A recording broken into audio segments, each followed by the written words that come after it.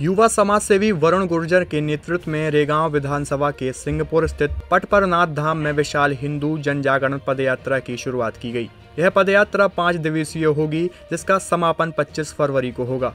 पदयात्रा का मकसद हिंदू समाज में व्याप्त कुरीतियों को दूर कर एक समृद्ध एवं संगठित समाज का वातावरण तैयार करना है। पाँच दिन में यह पदयात्रा रेगांव विधानसभा के करीब 60 गाँवों का सफ़र तय करेगी। पहले दिन सिंहपुर से शुरू होने वाली यह पदयात्रा टीकर, चोरबरी, भवर, सेमरिया, करसरा तक पहुँची।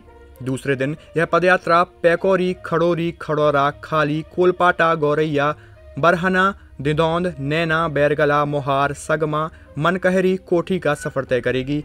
इस तरह पाँच दिनों के दरमियान यह पदयात्रा लगभग 60 गाँव का सफ़र तय करेगी।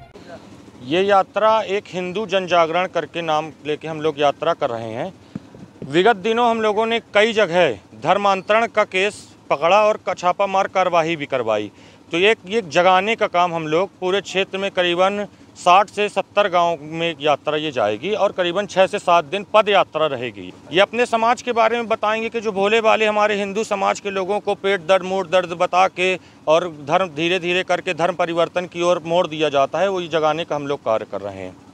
दूसरी बात हम लोग की ये भी है कि जो हमारी गौ माता हैं, जो गली गली मारी जा रही हैं, उसकी हम ये चाहते हैं कि प्रशासन द्वारा, शासन द्वारा जनप्रतिनिधि कान में तेल डाल के सो रहे हैं, जंगल खाली पड़ा हुआ है एक हम भी किसान के बेटे हम ये चाहते हैं कि जंगल जब खाली पड़ा हुआ है तो वहाँ पर एक चार चार, पाँच पाँच छः छः किलोमीटर का एक गऊ अभ्रहण बनाया जाए।